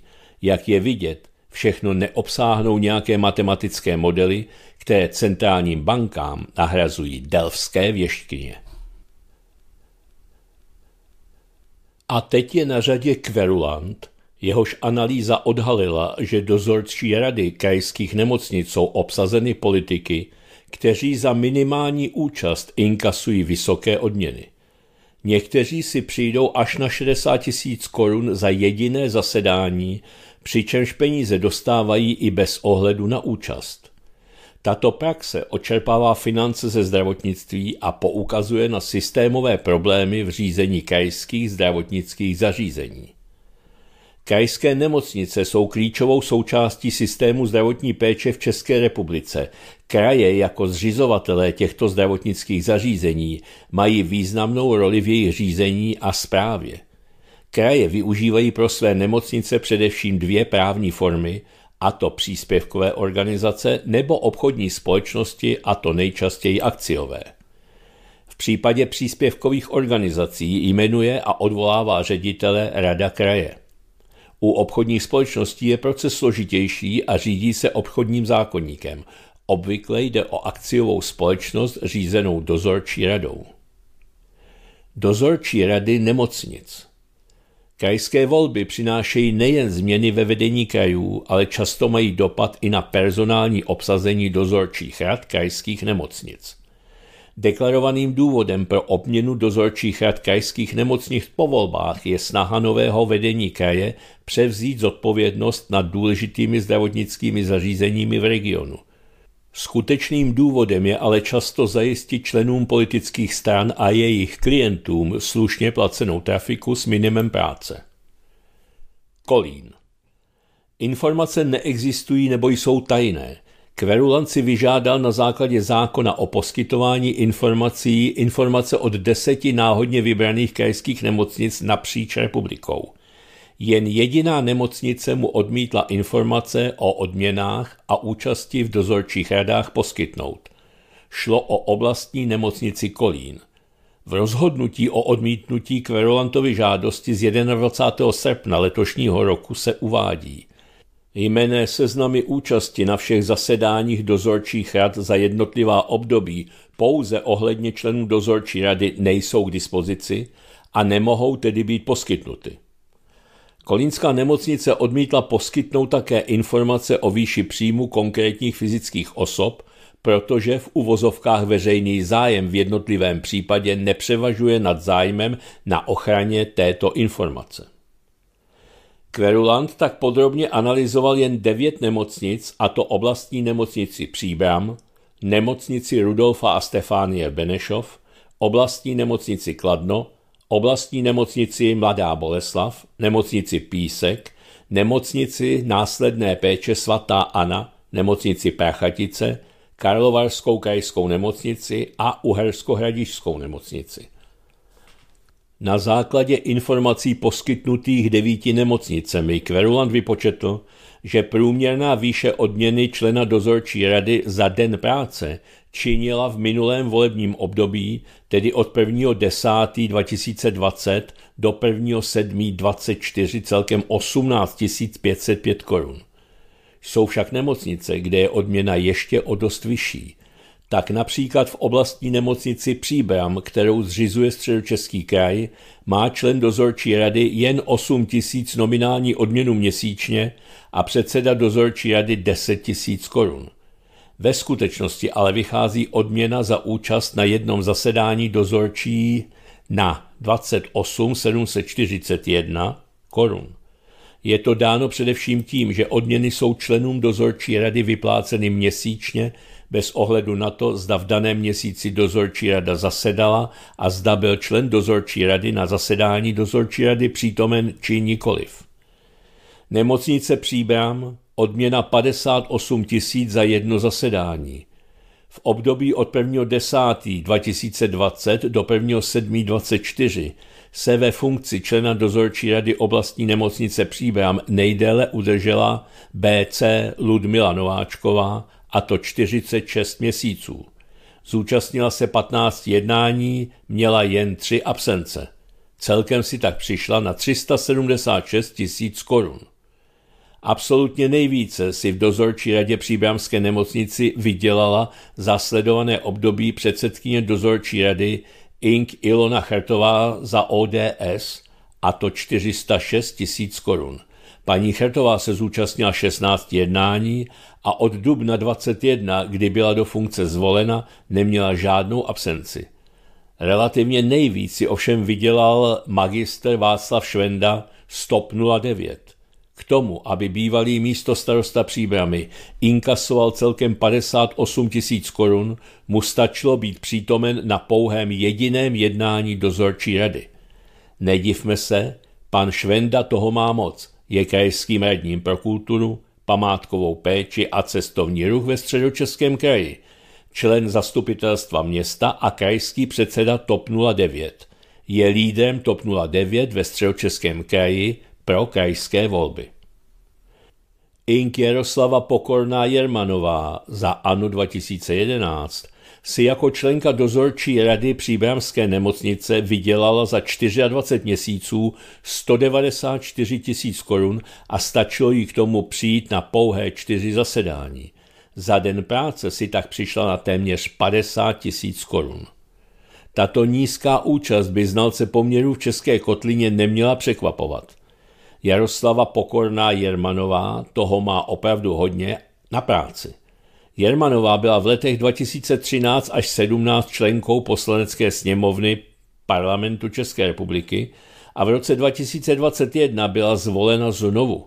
Paní Jermanová je také členkou dozorčí rady nemocnice Benešov. V letech 2016 až 20 zastávala funkci hejtmanky středočeského kraje. Působila i jako zastupitelka středočeského kraje v letech 2004 až 8. Byla i starostkou a zastupitelkou obce Krhanice a od roku 2014 je zastupitelkou města Benešov. Od července 2024 působí jako poslankyně Evropského parlamentu a proto na konci června 24 rezignovala na mandát poslankyně poslanecké sněmovny parlamentu České republiky. Kdo by však z tohoto kroku usuzoval na počátek sebereflexe, bude patrně zklamán tím, že paní Pokorná Jermanová opět kandiduje ve středočeském kraji na šestém místě kandidátní listiny ANO 2011. Připomeňme si krátce, že Jaroslava Pokorná Jermanová, bývalá hejtmanka středočeského kraje zahnutí ANO, byla během svého působení ve funkci spojována s několika kontroverzními kauzami. Jeden z největších skandálů se týkal externích smluv středočeského kraje. Kraj těmto externistům vyplatil dohromady miliony korun. Do paměti veřejnosti se zapsal také tím, že pohrozila v uvozovkách právními kroky záchranářce, která kritizovala nedostatek ochranných pomůcek. Ve středočeském kraji ještě zůstaneme, jen se přesuneme do nemocnice Rudolfa a Stefánie Benešov. I tam platí, že odměna za výkon funkce je předsedovi dozorčí rady i členům dozorčí rady vyplácena měsíčně, ať už se dozorčí rada konala nebo ne – Tři členové dozorčí rady měli nejvyšší docházku a to 16 účastí z celkových 16 zasedání. Byl to Ink Jan Skopeček za ODS, předseda dozorčí rady, Lenka Bártová a Mudrjana Pěkná a nejnižší docházku měl bakalář Jan Čába Dis, který se účastnil pouze šesti zasedání. Ten si také vydělal nejvíc za jedno zasedání a to 53 333 korun. Jen o něco méně si vydělala inženýrka Jaroslava Pokorná Jermanová, a to 46 857 korun za jedno zasedání. Ta se účastnila sedmi zasedání z 16 konaných. Průměrná odměna za jedno jednání pro všechny členy činila 29 244 korun. A teď je tu oblastní nemocnice Kladno. Nejvyšší docházku měl inženýr Dan Jeránek za ODS, který se zúčastnil všech 27 zasedání, což představuje 100% účast. Nejnižší docházku měl Mudr Milan Náprstek, který se zúčastnil pouze 12 zasedání za 33 měsíců, kdy byl ve funkci. Ten také inkasoval nejvyšší odměnu za jedno jednání, a to 22 tisíc korun. Průměrná odměna za jedno jednání pro všechny členy činila 16 444 korun. Oblastní nemocnice Mladá Boleslav. Na základě poskytnutých informací o docházce a odměnách členů dozorčí rady oblastní nemocnice Mladá Boleslav Kverulan zjistil, že největší docházku měla magistra Jitka Laubeová, která se zúčastnila 40 zasedání. Průměrná odměna za jedno jednání pro všechny členy byla 10 377 korun. Nemocnice Písek. Nejlepší docházku měli Marie Pavlíčková a magistra Eva Vanžurová, které se zúčastnili všech 17 zasedání. Naopak nejmenší docházku měla Iveta Česká, která se zúčastnila pouze čtyřech zasedání. Nejvyšší odměnu za jedno zasedání obdržel inženýr Stanislav Kázecký CSC, a to 21 647 korun. Průměrná odměna za jedno jednání pro všechny členy byla 13 057 korun. Nemocnice následné péče svatá Anna v Plané u Mariánských lázní je zdravotnické zařízení poskytující následnou péči pacientům po úrazech, operacích nebo vážných onemocněních. Nemocnice součástí sítě nemocnic Plzeňského kraje. Ve sledovaném období se pouze předseda dozorčí rady, doktor Zdeněk Arnberger, zúčastnil všech 15 zasedání. Inkasoval za tu odměnu v celkové výši 460 tisíc korun. Průměrná odměna za jedno jednání pro členy byla 22 961 korun. A teď je tu nemocnice Prachatice.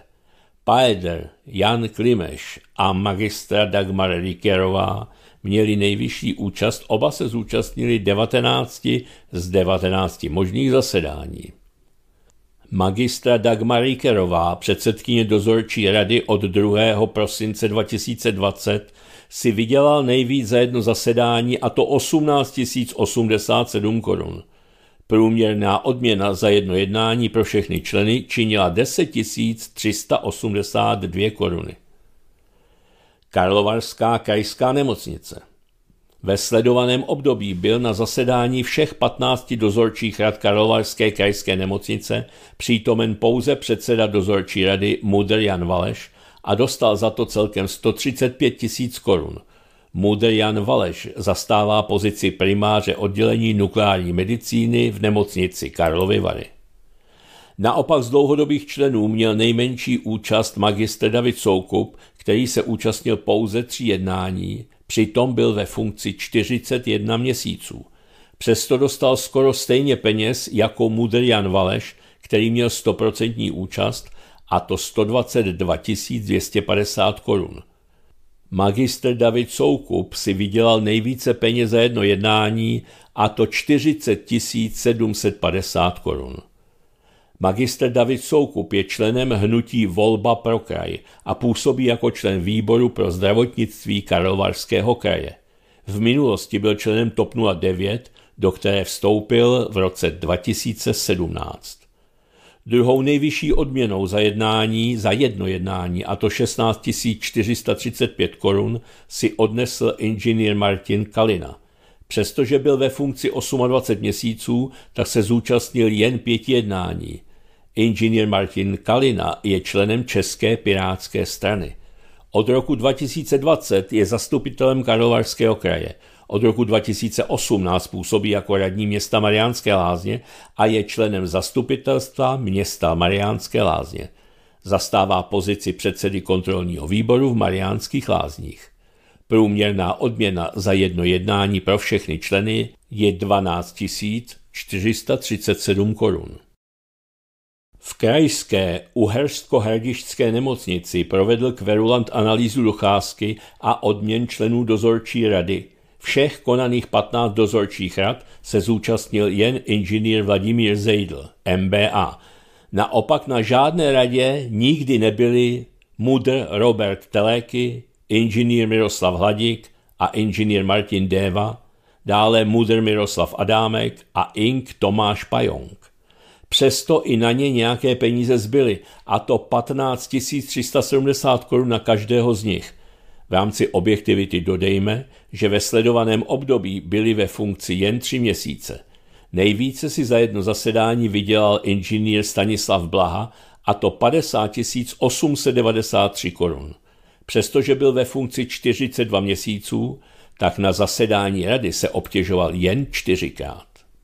Jak už bylo uvedeno, doktor Robert Teleky inkasoval v Uhersko-Hradišské nemocnici 15 370 korun, přestože se tam nezúčastnil ani jediného zasedání. I pan Teleky toho má moc. Od 9. října 21 zastává funkci poslance v poslanecké sněmovně parlamentu České republiky, je členem poslaneckého klubu KDU ČSL od 12. října 21 a v rámci poslanecké sněmovny je členem výboru pro zdravotnictví, členem hospodářského výboru, předsedou podvýboru pro energetiku a kromě toho je od roku 2016 zastupitelem Zlínského kraje. Mimo to je Robert Teleky také od 18. února 22 členem dozorčí rady VZP. Robert Teleky zdaleka není jediný politik, který si svůj už bez tak slušný rozpočet ještě vylepšuje prostřednictvím nejrůznějších trafik. Kverulant zmapoval, kdo sedí ve správních a dozorčích radách zdravotních pojišťoven. Zjistil, že jsou plné rozežaných politiků a vysokých státních úředníků. Jenom ve statutárních orgánech vojenské zdravotní pojišťovny, ve zdravotní pojišťovně ministerstva vnitra, ve Všeobecné zdravotní pojišťovně a v oborové zdravotní pojišťovně je celkem 126 politických exponentů. Jejich odměna činí v průměru 30 tisíc měsíčně za jeden či dva dny práce. Za posledních šest let takto politici již z veřejného zdravotního pojištění vyvedli dohromady více než 185 milionů korun do svých kapes – Kverulant každého z nich vyzval, aby peníze, které si v uvozovkách vydělal, daroval libovolné, dobročinné, nejlépe pacientské organizaci. Nejen na příkladu Jaroslavy Pokorné Jermanové a Roberta Telekyho je dobře vidět jedna z chronických nemocí, kterou trpí česká politika, či chcete-li zpráva veřejných věcí. Tato choroba se jmenuje kumulace funkcí. Hlavní symptom této nemoci je zřejmý je jim nekvalitní, ledabilá a nekoncepční zpráva státu. Politici ani teoreticky nemohou mít čas byt jen získat všechny informace, které by měli znát, když rozhodují o našich záležitostech. Vždyť například funkce radního v jakékoliv velké municipalitě a zvláště ve velkém krajském městě je velice mentálně i fyzicky náročná, jako práce víc než na plný úvazek a nedosti na tom, Politici tímto přístupem vyjadřují i pohrdání voliči.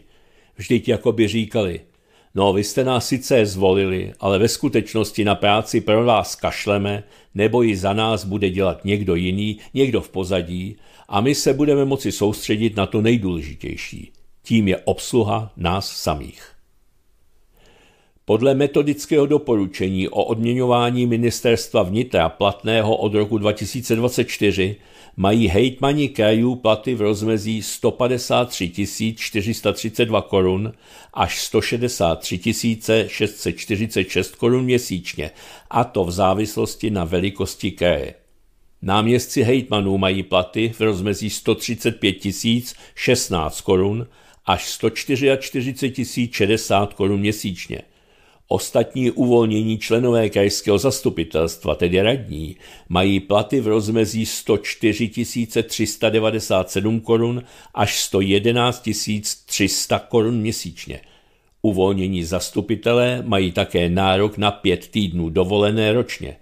Platy se každoročně valorizují, naposledy vzrostly o 10% v roce 2024.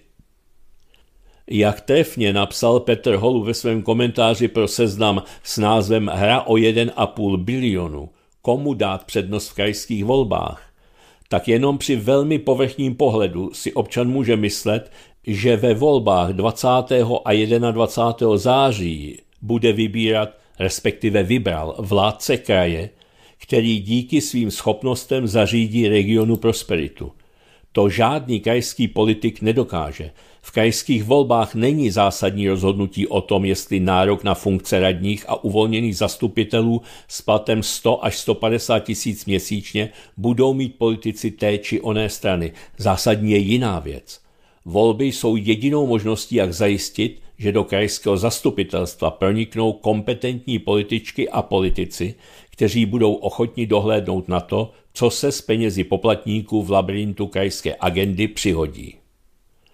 V málo které evropské zemi je struktura samozprávy tak málo přehledná a málo kde místní či regionální instituce rozdělují peníze tak netransparentním způsobem jako v Česku. Systém 14 krajů a jejich rozbujelých administrativ je do značné míry systém regionálních mafií, které určují stranickou politiku té které strany a vlastně priority i celostátní politiky. Jediný způsob, jak tento systém rozbít je, že voliči by měli být aktivní a odpovědní po celé volební období, nejen během voleb. Občané by měli kontrolovat svoje zvolence. Stejně tak, jako to dělá Kverulant, který věrolomné politiky kontroluje již od roku 2009. Nejvýstižnější komentář tohohle všeho by bylo asi úporné zvracení. Asi těžko si ještě někdo chová nějaké iluze o našem současném předsedovi vlády. Tak si poslechněte jeho projev k povodním, který, kdyby ho nenapsal Defense, tak by mohl být klidně páně premiérův. Vážení spoluobčané, naši zemi postihla další hrozivá katastrofa. Tu poslední si pamatujeme před třemi roky, to vznikla naše vláda. Nyní jsou to povodně. Mnozí z vás se ptali v uplynulých dnech, kam nám zmizel blištivý Péťa. Těšili se na má pozbuzující slova, zatímco voda ničila jejich příbytky. Tak jsem tady. Už jste jistě taky přišli na to, že věci nejsou takové, jaké se stanou, ale jsou takové, jak se komunikují. Tak já vám teď budu strategicky komunikovat povodeň. Předně je teď ideální čas na to, abychom společně oslavili úspěch vládního programu boje se suchem. Vynaložili jsme mnoho vašich peněz na rozbory, studie, studie těchto studií, studie rozporující tyto studie a další studie rozporující ty studie, které vyvracely ty prvotní studie. Mnoho ekologických neziskovek se skvěle napakovalo a výsledek se dostavil. Máte ještě problém se suchem? Určitě ne. To všechno během naší vlády. Poté, co jsme úspěšně ukončili boj se suchem, se teď vehneme na boj s vodou. V zimě budeme bojovat s mrazem, který letos tak potrápil producenty tichého vína a v létě budeme bojovat s horkem. Na jaře budeme bojovat s pilem, který trápí alergiky a až včely nebudou mít co žát, vyplatíme včelařům dotace. Na podzim budeme bojovat s padajícím listím, my tu zemi zachráníme, ať chcete nebo ne. Úplně nejdřív ze všeho je teď třeba, abyste si zbalili evakuační zavazadlo. Do něj umístěte následující předměty. Nutelu, velkou sklenici 500 gramů, mají v supermarketu Globus ve slevě za 199 korun, což je v celé Evropě bezkonkurenčně nejlepší cena a to je zásluha naší vlády. Dále moji knihu Vládnutí v čase krizí, která vám pomůže rozptýlit chmury a pomůže vám najít odpověď na otázku, kdo může za tenhle bordel. Poskytujeme rozsáhlou hmotnou pomoc. Pokud vás voda ještě nezatopila, dostavte se na Českobudějovické výstaviště do pavilonu T1. Tam dostanete od hejtmana Kuby šest pytlů s pískem. Ptáte se, co máte dělat s šesti pytly s pískem? Že se šesti pytly nedá nic utěsnit? Poskládejte je jeden na druhý a stoupněte si na ten nejvyšší. Pokud jste všechno provedli správně, stojíte asi o půl metru výše než předtím a velká voda na vás nemůže, tedy aspoň po nějakou dobu.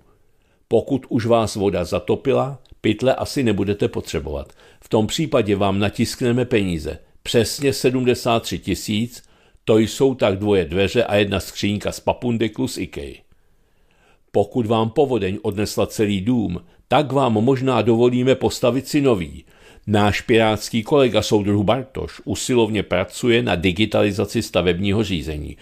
Doporučuji požádat co nejdříve, zejména pokud jste z oblastí postižených 50 letou vodou, abyste stavební povolení dostali včas a mohli začít stavět hned po další povodni. Byl jsem se podívat na poničenou ostravu. Vzal jsem si na to hodoboží tesilky a polobotky. Dali mi tam do ruky takovou podivnou věc. Na jedné straně to mělo dřevěnou tyč a na druhé straně ohnutý plech. Myslel jsem, že je to nějaká anténa, kterou se ovládají ty americké vojenské drony, co nám tady pomáhají s povodněmi. Namířil jsem tedy tu anténu na nebe, aby přiletěl ten dron. Jenže pak mi vysvětlili, že ta věc je takzvaná lopata a používá se k odklízení bahna. I takové technologie se teď používají díky naší vládě. Možná se ptáte, kdo za ty povodně může. Může za to Babiš, klimatická změna a ruští agenti. Zejména se pozastavím u těch posledních. Proč si myslím, že za povodně mohou ruští agenti? To je úplně jednoduché. Povodně jsou zcela jasně protivládní agenda, protože nás držují od důležitých strategických úkolů, jako je likvidace průmyslu, likvidace dopravy, zavádění cenzury nebo digitální fízlování občanů.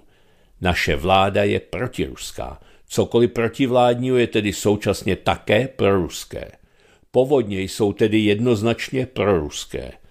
Někomu možná připadalo nevhodné, když voda zaplavovala města a pan generalisimus Řehka, což je největší český vojevůdce hned po Janu Žižkovi, se dožadoval, aby se na armádu vynakládalo více než 2% hrubého domácího produktu.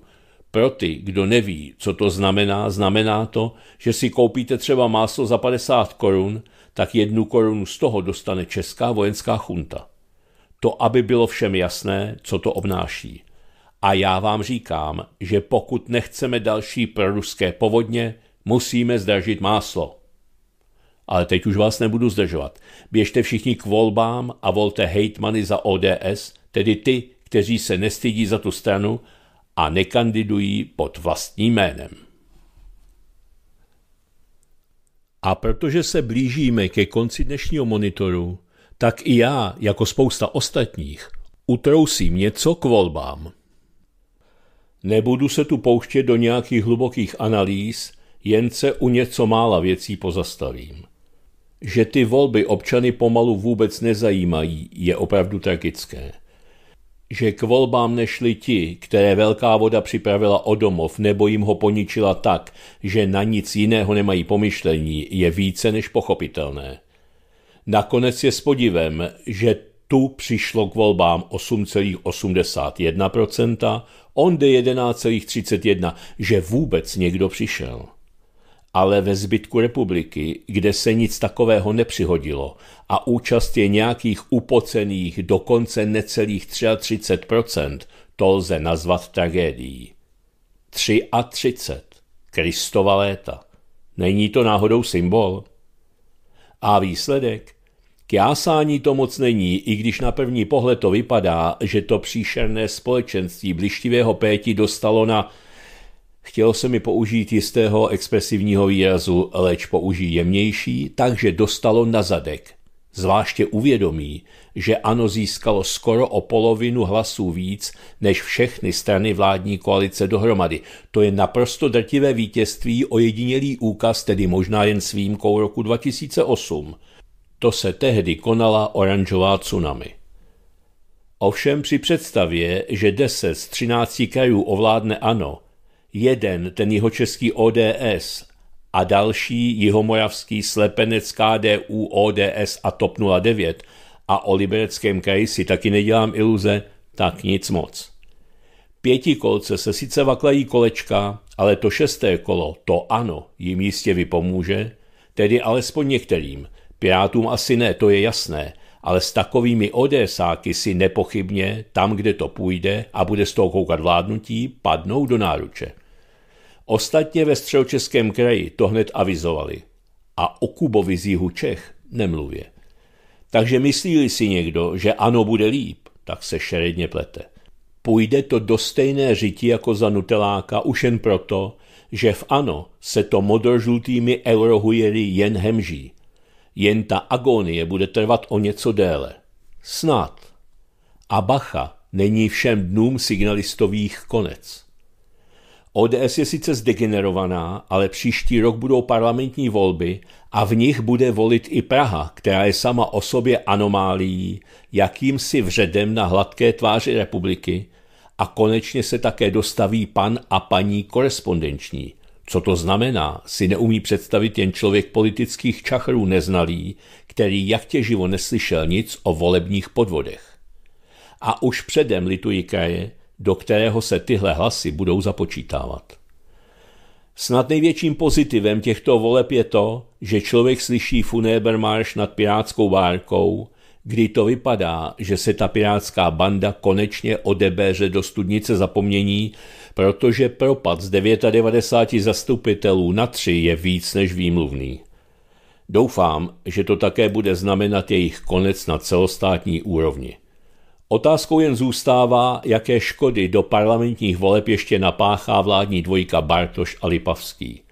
A chce se mi věřit, že časem také neuvidím Gregorovou, Hřiba a další pirátské superstar, jako je například malá neurotická Olinka. V této souvislosti bych chtěl dodat, že bych si přál totéž u lidí, jako jsou topáčtí Pekarová a Niedermayer a černoprdělnický Jurečka se Zdechovským. SPD se snad podařilo zastavit propad, ovšem, že by to s těmi 32 zastupiteli byla nějaká sláva, tak to tedy ne. Na druhou stranu patří SPD ocenění a to velké za to, že jako jediná strana či uskupení není rusofobní a nejede v kolektivně západní doktríně o zlém Rusku.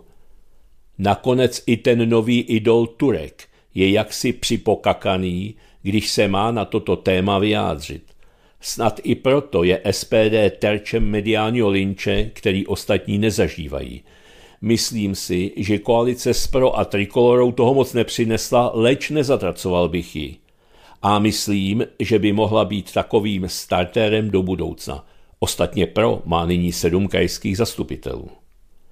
Že velký comeback zaznamenali komunisté je zřejmé už jen z toho, že budou mít zastoupení v jedenácti krajích. Chybět budou akorát v Libereckém a Karlovarském. A ještě pár slov k Senátu.